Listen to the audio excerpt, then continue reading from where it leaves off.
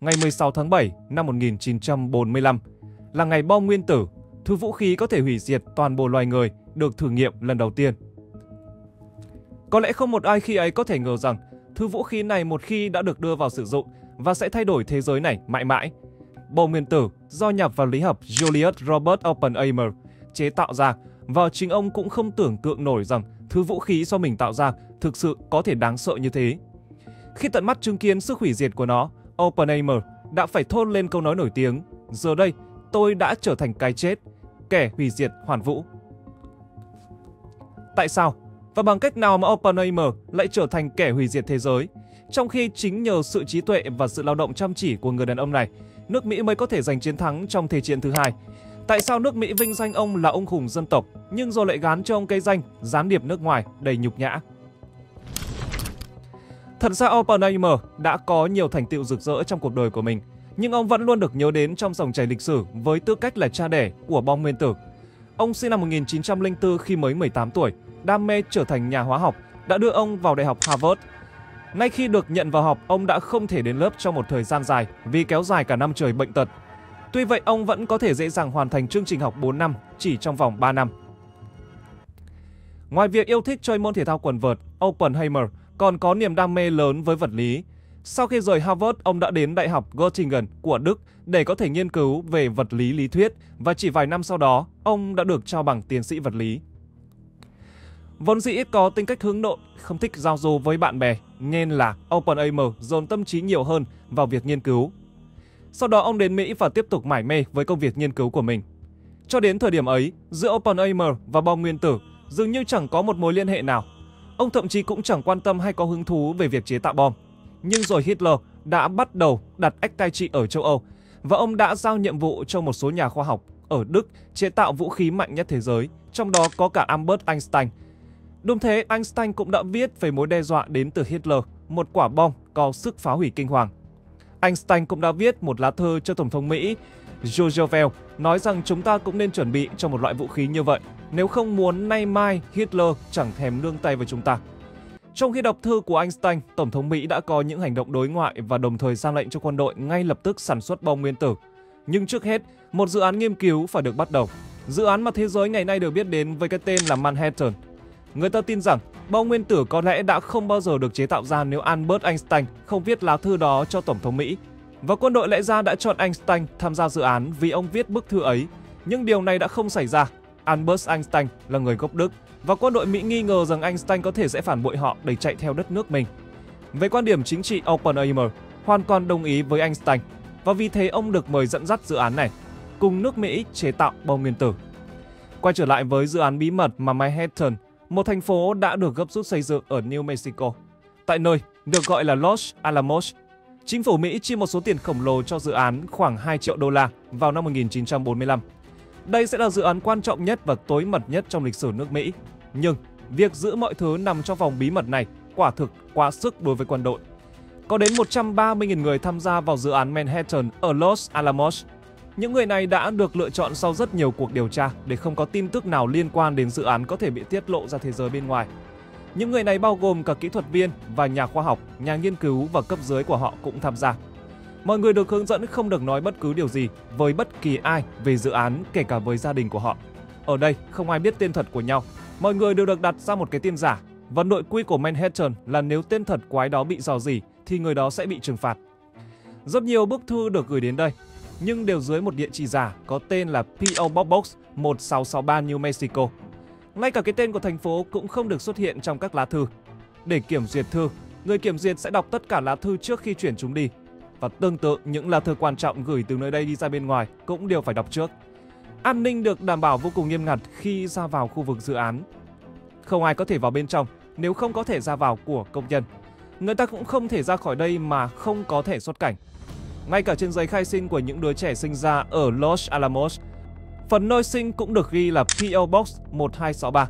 Tất cả những điều này đang thực hiện chỉ vì quân đội không muốn một mảnh thông tin dù là nhỏ nhất về quả bom nguyên tử bị lọt ra ngoài. Thật ra thì Oppenheimer đã thực hiện nghiên cứu về phản ứng tổng hợp hạt nhân trước khi dự án Manhattan bắt đầu. Có một phản ứng được gọi là phản ứng phân hạch xảy ra khi ta bắn các hạt neutron vào hạt nhân nguyên tử. Quá trình này giải phóng năng lượng rất lớn và phóng xạ. Nguyên tố nặng nhất được tìm thấy trong tự nhiên là uranium. Một nguyên tử uranium có chứa tới 92 proton và 146 neutron. Nếu trộn lẫn với nhau thì sẽ tạo thành uranium với tổng khối lượng nguyên tử xuất hiện khi đó là 238. Bây giờ sau nhiều thí nghiệm và nghiên cứu, các nhà khoa học đều đi đến một kết luận rằng uranium 238 được đưa vào một chu trình đặc biệt thì uranium 235, nguyên tố mới, sẽ thoát khỏi nó và đây là nguyên tố không ổn định.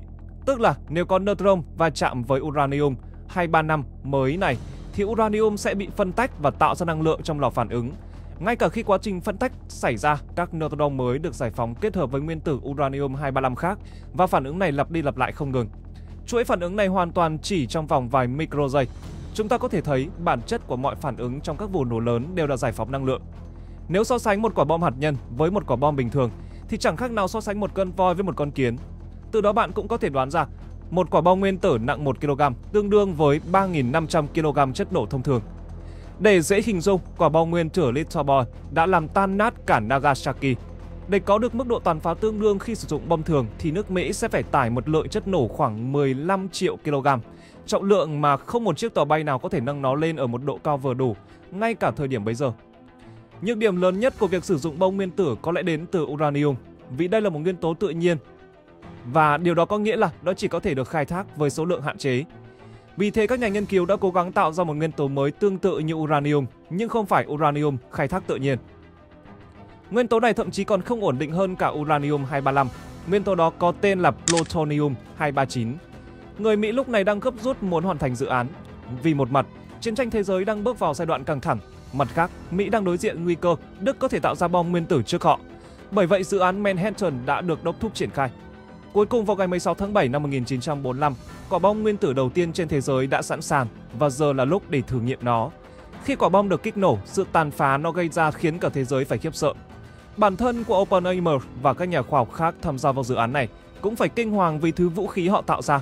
Bởi đây là loại vũ khí đầu tiên có đủ sức mạnh để gây ảnh hưởng đến sự tồn vong của nhân loại và giờ đây, sức mạnh của nó lại được đặt vào đôi tay của con người. Liệu con người sẽ sử dụng nó như thế nào đây?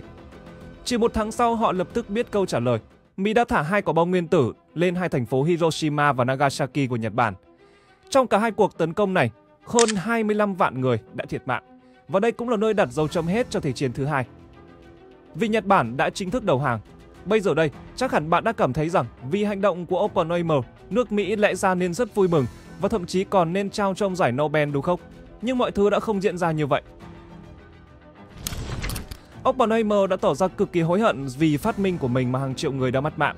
Suy nghĩ ấy khiến ông hoàn toàn suy sụp từ bên trong và bắt đầu cô lập mình với thế giới. Hậu Thế chiến thứ hai, khi thế giới bước vào chiến tranh lạnh, Oppenheimer còn từng bị tình báo Hoa Kỳ để mắt vì nghi ngờ có quan hệ với Cộng sản vì phản đối việc phát triển bom nhiệt hạch. Điều đáng sợ đã xảy ra vào năm 1949 kẻ thù lớn nhất của Mỹ lúc đó, Liên Xô, công bố phát triển thành công bom nhiệt hạch. Các nước Mỹ hoảng loạn vì không biết tại sao Liên Xô biết về dự án bom nhiệt hạch này cũng như công thức chế tạo nó. Tất cả mọi nghi ngờ đều đổ dồn vào Oppenheimer vì người tình của ông là một đảng viên Đảng Cộng sản và vợ ông trước đó cũng từng là đảng viên Đảng Cộng sản. Mà Đảng Cộng sản thì có quan hệ mật thiết với Liên Xô. Dự án Manhattan đã có nội gián, nhưng bản thân Oppenheimer không quan tâm đến chính trị Tổng thống Mỹ lúc này đã ra lệnh tước quyền truy cập thông tin mật cũng như vị trí cố vấn chính phủ Hoa Kỳ của ông Oppenheimer. Một cuộc điều trần đã được tổ chức mở đó Oppenheimer bị buộc tội là gián điệp của Liên Xô. Suốt cuộc điều trần, Oppenheimer vẫn kiên định với tuyên bố của mình rằng ông không có liên hệ gì với chủ nghĩa cộng sản và Liên Xô. Không ai có bằng chứng nào để kết tội ông, nhưng phán quyết cuối cùng vẫn chống lại ông. Giấy phép an ninh của ông và tất cả đặc cách liên quan đến những dự án chính phủ đã bị tước bỏ. Cộng đồng các nhà khoa học bao gồm cả Albert Einstein đã lên tiếng phản đối quyết định này nhưng cũng chẳng thể thay đổi được gì. Vài năm tiếp theo, Oppenheimer sống cuộc đời của mình trong im lặng, công khai và tránh xa những dự án của chính phủ. Khoảng 7 năm sau, năm 1961, John Kennedy trở thành tổng thống của Mỹ đã khôi phục phần nào danh dự cho Oppenheimer cũng như cấp lại giấy phép an ninh. Nhưng lần này Oppenheimer từ chối. John Kennedy biết rằng mình đã thất bại trong việc mang Oppenheimer trở về nước Mỹ dù Kennedy đã trao cho Oppenheimer giải thưởng khoa học danh giá nhất nước Mỹ, nhưng lúc đó tất cả những gì Oppenheimer cảm thấy chỉ là sợ hãi. Oppenheimer được chẩn đoán mắc bệnh ung thư và ông qua đời năm 1966. Cho cốt của ông được giải trên một bãi biển ở quần đảo Virgin, ngày nay là bãi biển Oppenheimer. Và đó là nguyên nhân tại sao mà bom nguyên tử lại hủy hoại cuộc đời của người tạo ra nó. Anh em nghĩ sao về video ngày hôm nay? hãy để lại ý kiến bên dưới phần bình luận để cho mình biết thêm thông tin nhé. Và trước khi rời đi, đừng quên nhấn like, nhấn subscribe, bật chuông thông báo để không bỏ lỡ những video thú vị tiếp theo từ Văn Tùng Discovery. Còn bây giờ xin chào và hẹn gặp lại anh em trong những video tiếp theo.